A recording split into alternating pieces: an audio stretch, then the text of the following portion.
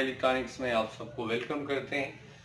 परसों हमने ये जो आपको बताया था थ्री थ्री सिक्स हायर का, इसकी हमने रिव्यू डाली थी। तो काफ़ी सारे कमेंट्स इसके ऊपर आए कि इसको ऑपरेट करने का भी हमें तरीका बताया जाए कि ऑपरेट इसको कैसे करते हैं। कौन से फ़ंक्शन है किस किस फ़ंक्शन के ऊपर जो है इसको आप चला सकते हैं, और कौन सा फ़ंक्शन किस टाइम पे आपने चलाना है। ये सारी चीज़ें इस वीडियो के अंदर हम आपको बताएँगे।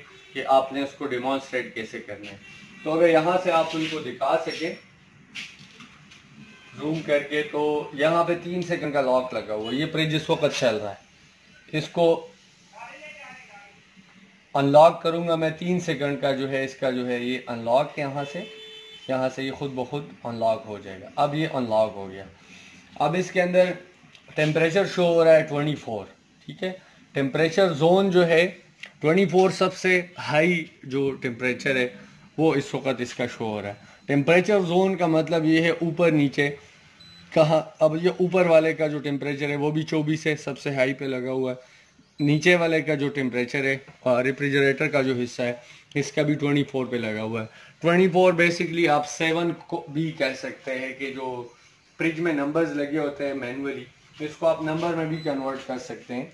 अगर इसको आप ऊपर नीचे करें ये 24 पे। अब यहाँ पे अगर आप देखें तो फ़ंक्शन सेट का बटन है, इसके अंदर तीन इन्होंने फ़ंक्शन रखे हुए पावर कूल का फ़ंक्शन रखा हुआ है पावर फ्रीज का फ़ंक्शन रखा हुआ है और फजी का जो है फ़ंक्शन इसके अंदर लगा हुआ है। पावर कूल का फ़ंक्शन ये होगा, यहाँ से आपको नज़र आ रहा है। ये पावर कूल है, ये पावर फ्रीज है और ये फर्जी का फ़ंक्शन है, ये आपको नज़र आ रहा है। पावर कूल के ऊपर जब आप इसको सेट करेंगे, यहाँ से फ़ंक्शन सेट है तो आप जब इसको पावर कूल पे सेट करेंगे तो यहाँ से ये ओके पावर कूल पे लग गया। यहाँ से आप इसको तीन सेकंड के लिए ये लॉक हो गया। अब ये पावर कूल पे चल रहा है। पावर कूल का मतलब ये होगा कि नीचे जो आपका सिस्टम आपको नज़र आ रहा है, ठीक हो गया जी? ये वाला, ये आपका जो है कंप्लीट पावर कूलिंग करेगा और जो भी चीज़ें आपने इसके अंदर रखी है, वो ज़्यादा देर तक अगर लाइट नहीं भी होगी तो बहुत ज़्यादा इसको कूल कर देगा। उसके बाद आ जाते हैं जी पावर फ्रीज का फ़ंक्शन यहाँ से दोबारा हम इसको खोलेंगे, तीन सेकंड वाला लाख है। यहाँ से इसके ऊपर उंगली रखेंगे, तीन सेकंड में ये खुल जाएगा।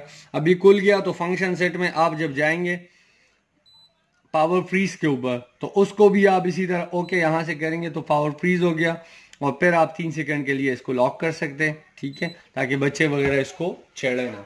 तो फिर ये आपका पावर फ्रीज पे लग गया। यहाँ से ये बहुत ज़्यादा कूलिंग करेगा जो फ्रीजिंग करेगा बेसिकली अगर आपने कुर्बानी के दिनों में इसमें गोश्त वगैरह रखना है, कोई चीज़ रखनी है तो पावर फ्रीज के ऊपर आप उसको चला ले तो ये आपका पावर फ्रीज का फ़ंक्शन हो जाएगा। बहुत ज़्यादा मतलब ये फ्रीजिंग बहुत ज़्यादा फिर करेगा। जो भी आप चीज़ इसके अंदर रखेंगे, वो फ्रीज हो जाएगी। इसके बाद आ जाता है फजी का फ़ंक्शन यहाँ से दोबारा से हम इसको ऑन करेंगे। तीन सेकंड का जो लॉक लगा हुआ है इसको हम ओपन करेंगे। ओपन हो गया जी। ये आ गया फजी के ऊपर।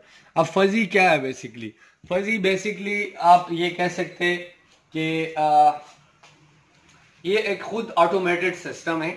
आ, बाहर का आपका जो आउटर टेम्परेचर होगा फ्रिज के बाहर का जो टेम्परेचर होगा उसके हिसाब से ये खुद को एडजस्ट करता रहता है फ्रिज ये आप एक ये कह सकते हैं, ये जो फजी का इनका फ़ंक्शन है, ये ऑटोमेटिक है। इसके ऊपर जब आप फ्रिज को लगाएँगे तो बाहर का टेम्परेचर बढ़ेगा तो कूलिंग जो है इसके अंदर बढ़ती जाएगी। उसे हिसाब से ये उसकी रफ्तार भी तेज होगी।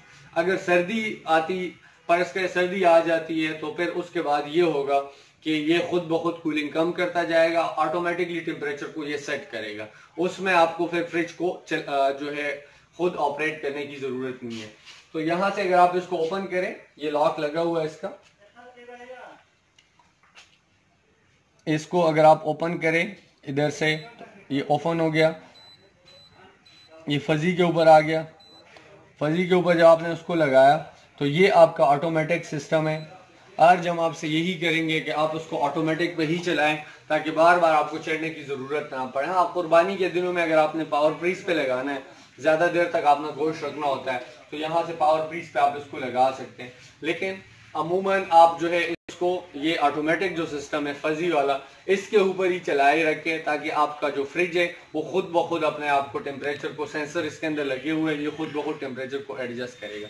बहुत आसान सिस्टम है फिर भी अगर आपको कोई बात समझ नहीं आती तो आप रबता कर सकते हैं, हमारा नंबर आपके स्क्रीन पे चल रहा है। यहाँ से मैंने आपको बताया था कि ये इधर से ये स्प्रे करता है, यहाँ से आप देख सकते हैं। ये जो इसका टर्बो फ़ैन नीचे है, इधर से अगर आप इसको देखें, ये बंद हो गया। इसके अंदर फ़ैन चल रहा है। ठीक हो गया जी? फ़ैन भी चल रहा है और ये अल्ट्रा वाओलेशन जो लाइट है, ठीक है, यहाँ से आपको नज़र आ रहा है। ये यहाँ से ये जो बटन है इसके ज़रिए जब आप दरवाज़ा बंद करते हैं तो ये ऑफ़ हो जाता है।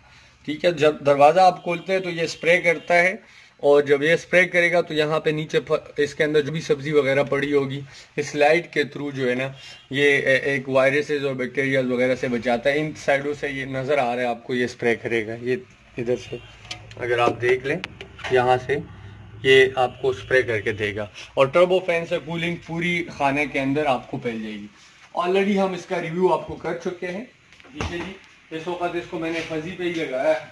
तो यहाँ से आप, नज़र आपको आ रहा होगा, बेहतरीन इसने कूलिंग कर दी है। ठीक हो गया जी? जैसे ये पूरा खाना इसका जो है, पाँच मिनट के अंदर अंदर उन्होंने ठंडा कर दिया है। बेहतरीन इसकी कूलिंग है। जैसे मैंने आपको पहले बताया था कि ये फाइव वाई वापोरेटर है। पाँच साइडों से कूलिंग करता है तो यहाँ से भी इसकी कूलिंग है, इधर से भी इसकी कूलिंग है। कोई भी आप इसके अंदर आइटम रखते हैं तो आप ये कह लें कि हंड्रेड हार्स की कंपनी रिटेंशन दे रही है। सौ घंटे तक इसके अंदर कोई चीज़ ख़राब नहीं हो सकती, ये कंपनी का क्लेम है। ये अप टॉप पावर आपकी मैं बात कर रहा हूँ। ये इसकी डिमॉन्स्ट्रेशन की वीडियो थी। बार बार लोग ये पूछ रहे थे कि ऑलरेडी हम एक वीडियो टीडीसी के ऊपर चला चुके थे, लेकिन इन्वर्टर का हमने नहीं चलाया था। तो ये आप जो है, इस, इसके ज़रिए से आपको काफ़ी सारी हेल्प मिल सकती है। व्हाट्सअप नंबर हमारा आपके स्क्रीन पे चल रहा है। मज़ीद कोई मालूम आपको चाहिए तो आप हमें बता सकते थे